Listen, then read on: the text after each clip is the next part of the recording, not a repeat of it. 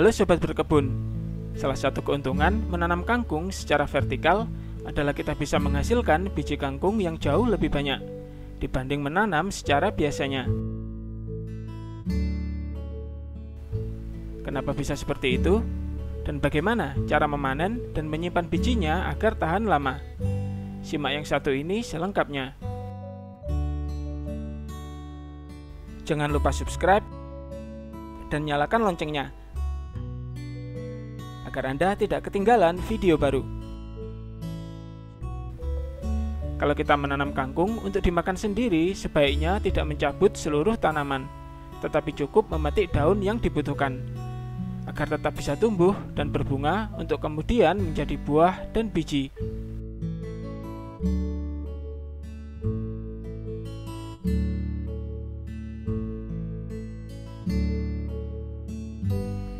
Dan inilah keuntungan menanam kangkung secara vertikal. Walau kangkung akan terus tumbuh memanjang, posisinya tetap berada di atas tanah, sehingga bunganya pun tidak menyentuh tanah. Jadi akan terhindar dari kerusakan, baik karena terinjak, dimakan hewan, atau terkena genangan air dan busuk. Yang hasilnya, jumlah bunga yang sukses menjadi buah kemudian menjadi biji akan jauh lebih banyak dibandingkan dengan cara menanam yang tidak vertikal.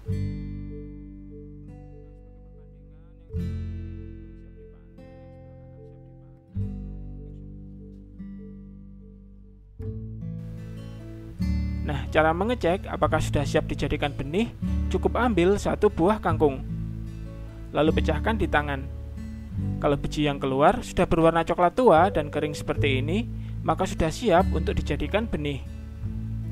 Biasanya ini akan tercapai setelah mulai dua bulan sejak kita menanam kangkung dari biji. Satu buah biasanya mengandung empat biji.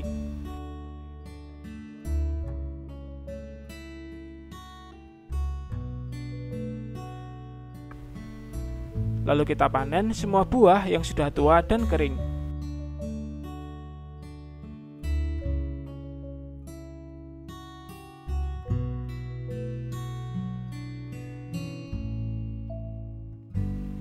Biarkan yang masih hijau, yang nanti bisa kita panen ke depannya.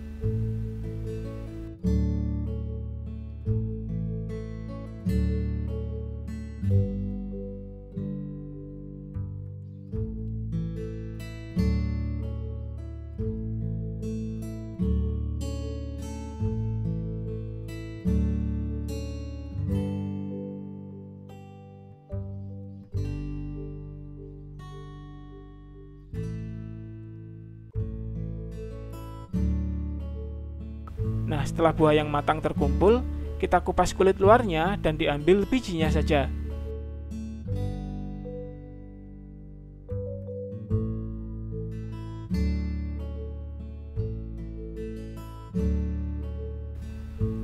Lakukan seluruh proses ini dengan tangan dan wadah yang semuanya kering dan bebas dari air.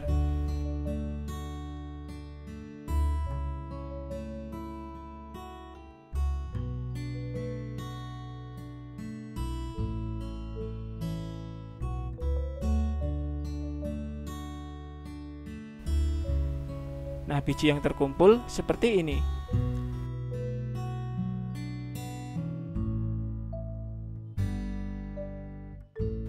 Setelah itu, kita ambil kantung plastik yang ada klip kedap udaranya.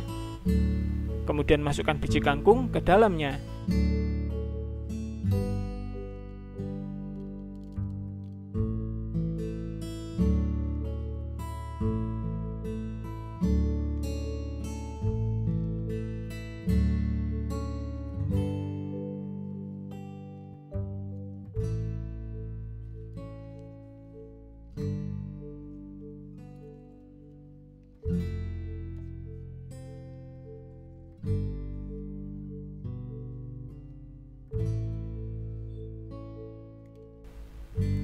dan buat label yang mencantumkan bulan dan tahun.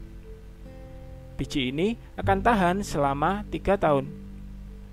Untuk menanam kangkung secara vertikal, linknya bisa dilihat di layar.